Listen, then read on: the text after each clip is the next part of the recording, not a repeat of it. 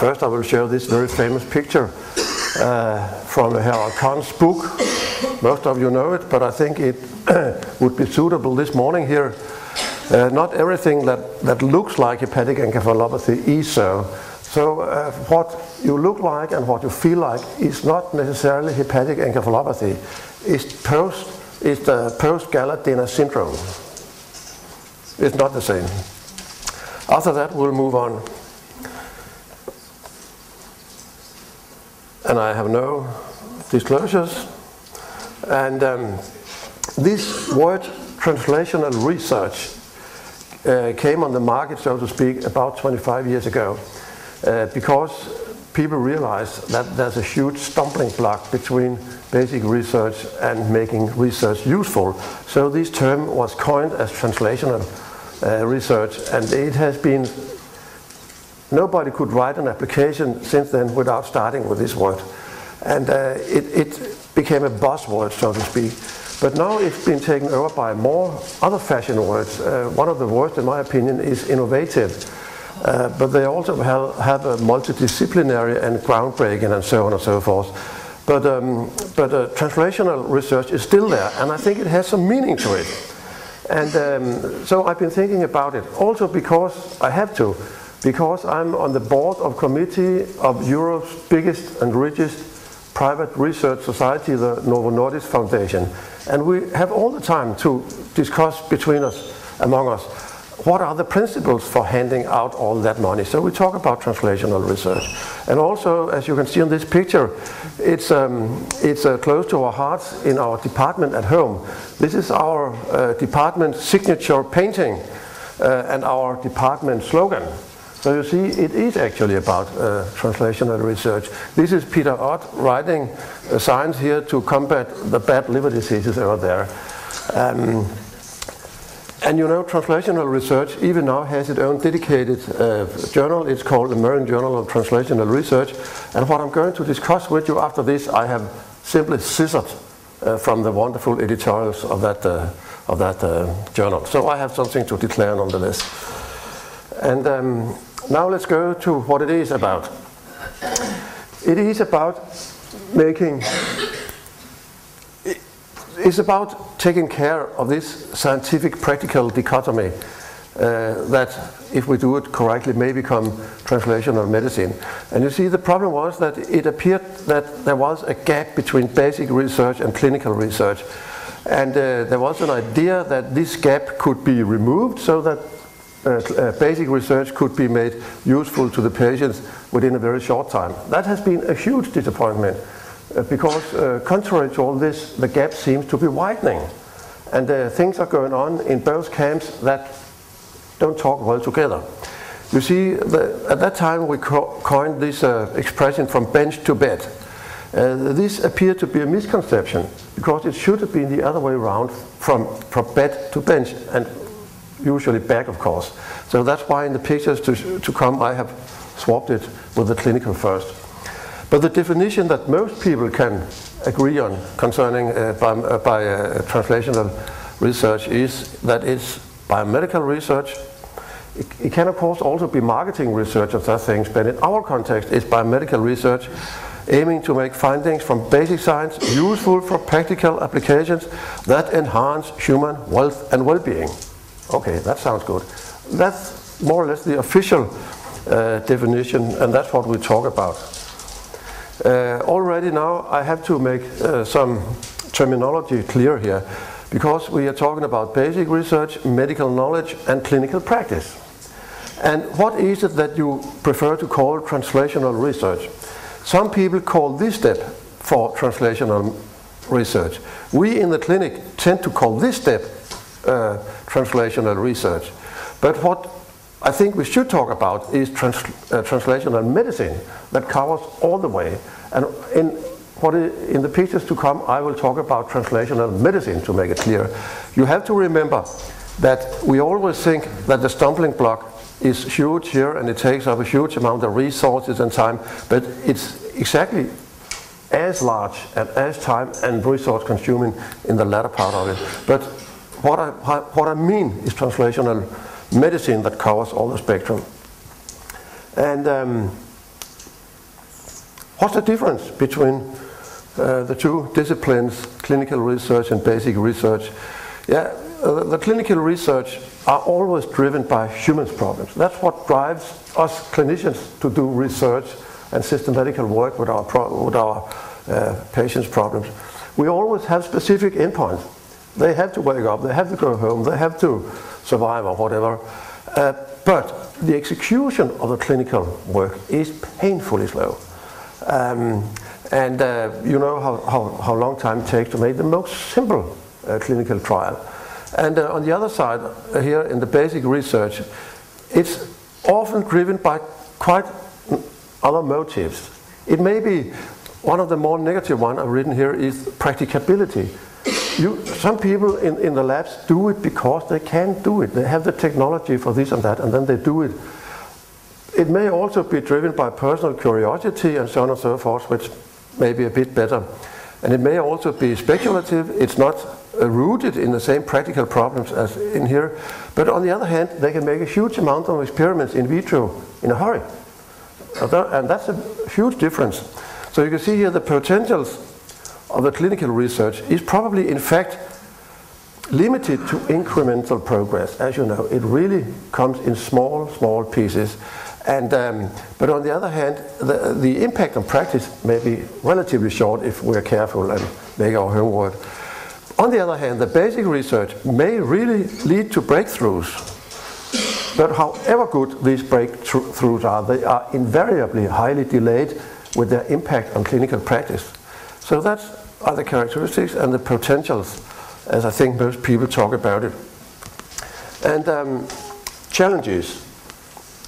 Why don't we combine the potentials of the two disciplines? There are many problems here.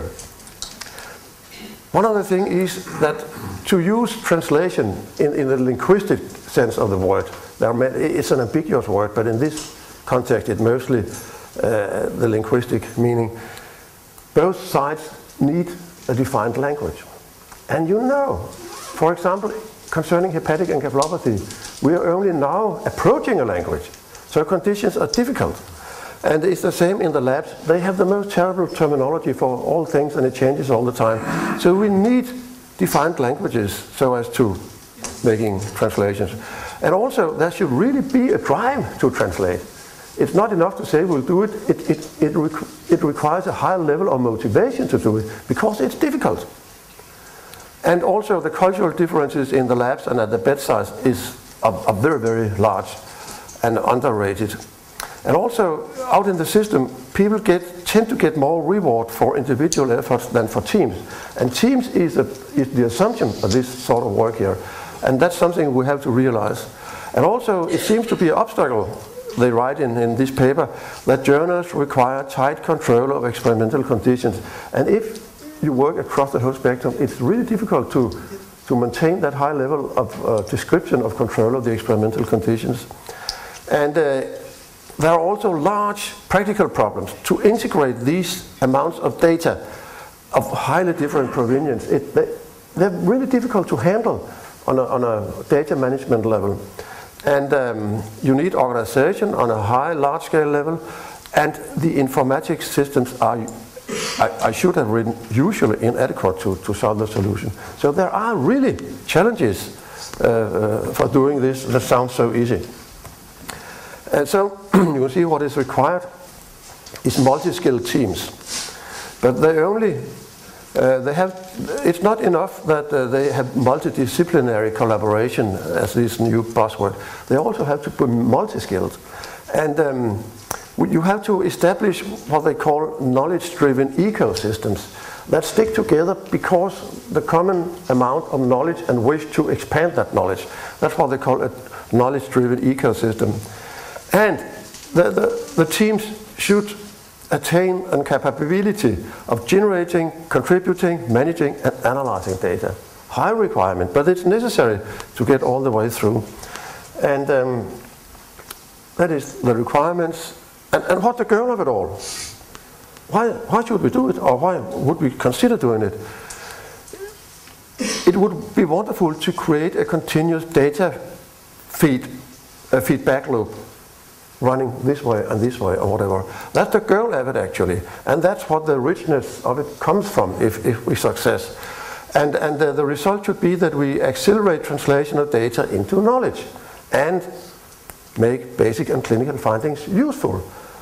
That's the goal of it all, and it sounds very good, but as I indicated, it's not so easy. And um, there is also a lot to criticize about translational research. Uh, it, it's not, it, it, it has some problems. For example, it's very clear that the important discoveries in the history of medicine arose in labs, not so much at the bedside. That goes for drugs and basic biological facts. Uh, and uh, people also look back in the history of translational research and say, is history with it? What very good, good things of important progress come, came out of it? And it's not so easy to answer actually. And, um, and then there's also the question of cost. For example, lots of people claim that it's much or it's only cost effective to support lab work because of the possibility of breakthroughs. That will never come in the clinical research probably. So in, in, in, uh, in, in my Novo Nordisk Foundation, it's not so easy to convince the others that they should support such things. It's not cost effective, Henry. And uh, they, may, they may be right. Uh, you, can see here, I have written about that. Uh, and furthermore, this way of doing research has never been subjected to any sort of evidence-based evaluation. So it's not, it's not sure it's, it's, it's, it's useful actually. And it's very often accused of uh, uh, resulting in results that cannot be reproduced. So these are the criticisms about it. And there are several more, but I think um, it may be thought-provoking for you to see that actually uh, many people with big grants say that uh, it's simply not cost-effective. So why should we do translational research on medicine for hepatic encephalopathy? Because this condition is a challenge in both camps. We know that. We hear that uh, during this meeting here. And also, I think we are obliged to do it because looking 50 years back, there has been no breakthrough in any camp. We are both, both camps are making very small progress and, and very slow. So I think we have to do it simply. Uh, and um, a, a, breakthrough in one of the single disciplines is actually unlikely. We know that now.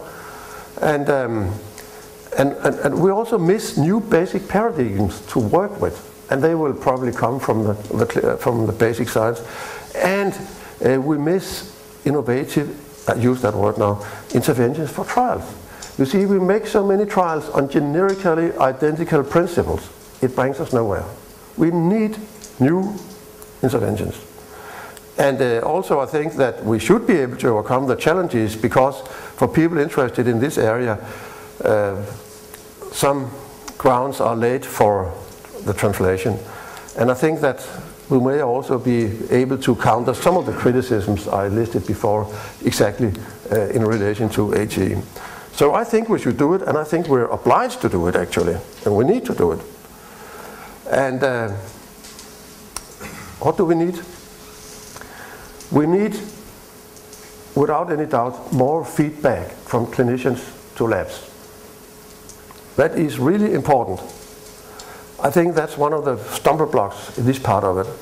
And uh, we, we need systematical, systematic efforts to translate, to understand one another's language, and to speak clearly in our own language and try to understand what the others are saying. We need reciprocal education. You, you know, most of the patients being treated for hepatic encephalopathy are treated by doctors that are not completely sure about the difference between glutamine and glutamate. And many of the people working in the labs seem not to know the concentration of ammonia in our patients. So we need some sort of uh, education here.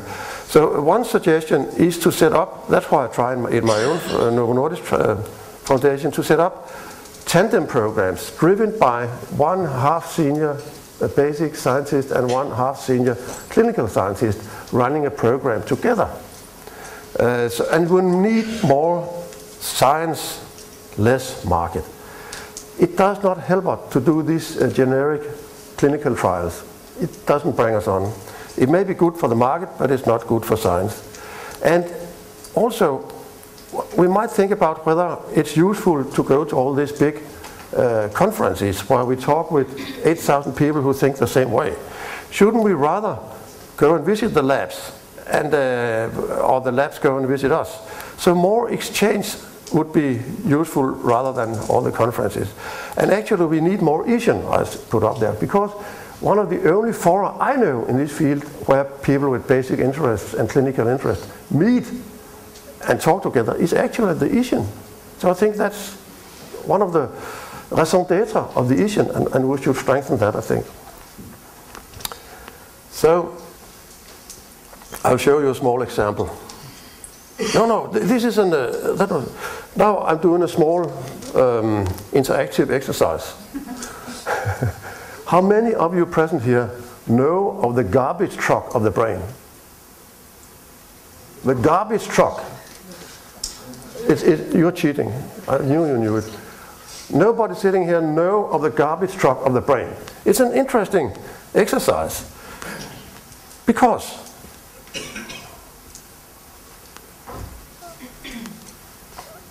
within the last few years, this so-called glymphatic system has been discovered. And, um, and it has been shown that the brain does indeed have a garbage removal system without which the brain cannot live. And it only runs while we are asleep and it's disturbed by ammonia. How comes we don't all know of this and is jumping at it? It's just an example of a loss of translation. And you know, this is from Science last year. Interesting.